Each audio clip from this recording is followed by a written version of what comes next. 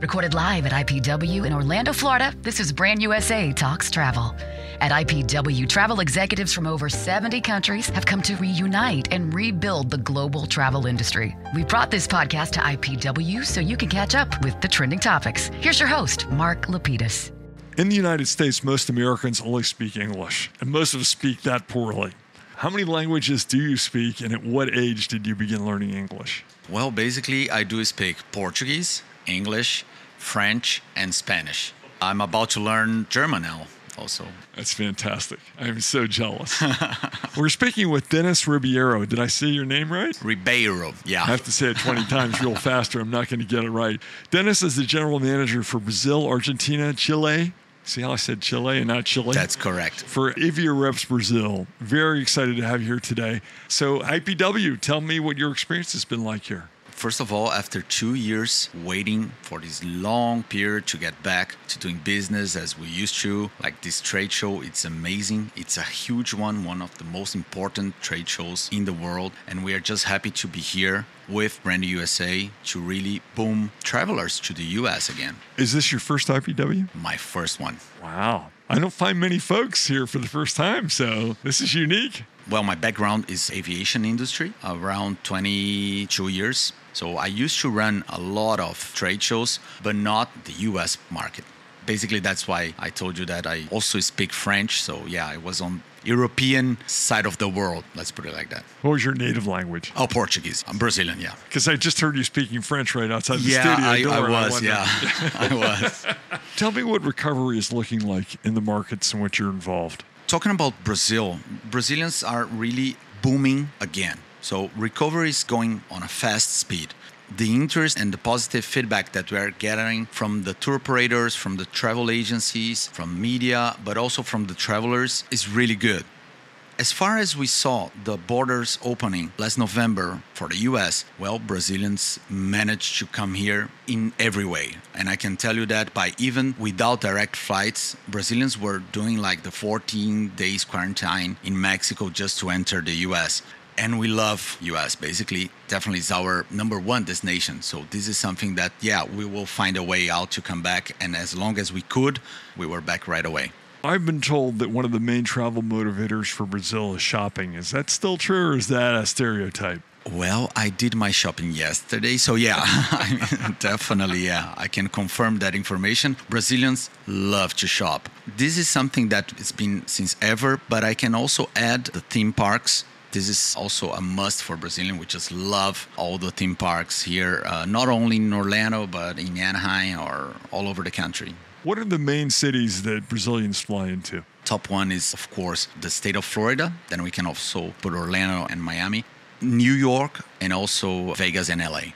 And do you find once they do so, they explore further into our country? Yes, and actually, this is one of the most challenges that we got this year. It's really to try to help Brazilians to understand the possibilities of side trips because this is also important that Brazilians are coming back to their favorite places. And I think majority of the world is doing that because we were kept out for too long. So we want to go back to our favorite places. And then we are trying to really boost some side trips. So if you're going to visit a theme park in Orlando for example why not go to Fort Lauderdale or Naples or even other beautiful states in America Well, you have so many outdoor opportunities in Brazil. Do people come to the United States strictly for our cities, or do you find because they're so accustomed to the great outdoors in Brazil that they also seek it out in the United States?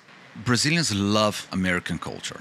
This is really important. And this link it to an outdoor experience with local community information and getting all these, let's say, cultural side trips. We are booming motorhomes rentals here in the US. This is something quite new for us and it's working really well. So, yeah, even though in Brazil we do have many beaches and um, outdoor places, we still come here to see American spots. How are most Brazilians feeling about the United States?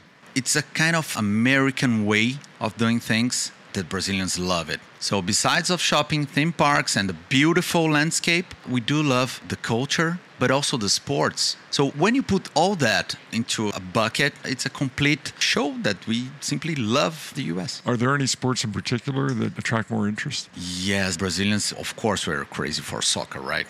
But I can tell you that NBA and NFL are the top ones. Golf too, but not as big as NBA and NFL. And Brazilians travel to watch games here. What would most American DMOs be surprised to learn about Brazil?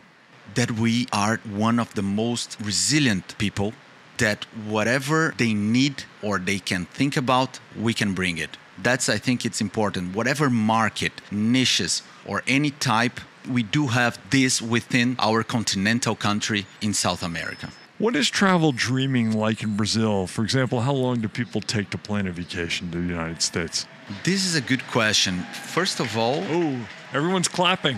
It's the very end of IPW. Listen to that. I thought they were clapping for us. So, well, coming back to your question, Brazilians used to book a lot in advance. COVID taught us we wouldn't be able to be sure that we will be able to enter a certain country or not. So the booking window was really short, and now it's coming back again. But also, it's important to say that one of the biggest challenges that we have today, the currency, US dollars versus Brazilian reals. The exchange. Yeah. Brazilians always find a way out to make their bookings, buying tickets in installments and so on. And this is something that helps also Brazilians to anticipate as long as they can to buy the trip before on a long term period. So I can tell you that even for like 12 months, we can see Brazilians already planning for that. So the planning is very, very early. So that means when we're marketing to Brazilians, we have to do it much further out.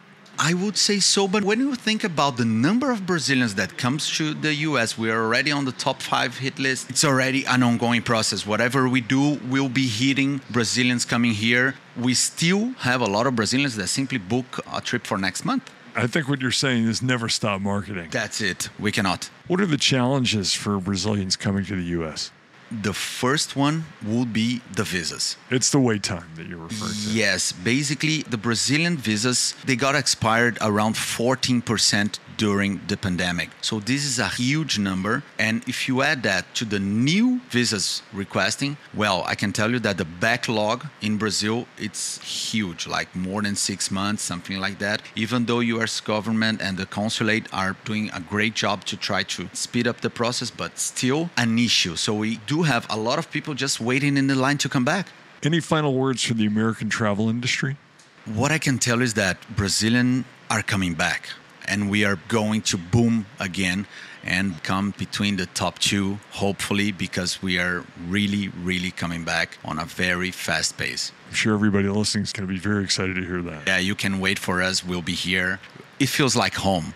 That's fantastic. Well, I think we'll end on that great note. Thank you so much for dropping by our live at IPW booth. Thank you very much. Have a safe trip home and see you next year in San Antonio. Definitely. If you enjoyed this live from IPW podcast, please leave us a review and subscribe to Brand USA Talks Travel. We have so many industry leaders to speak with here at IPW that we'll be pushing out many consecutive episodes with new guests. We hope you'll binge listen when you have time. I'm Mark Lapidus. Thanks for listening.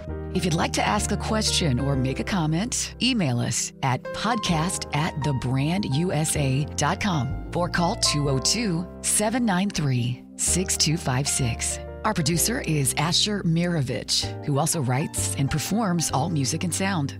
Engineering by Brian Watkins. Be sure and let your friends in the travel industry know about this podcast.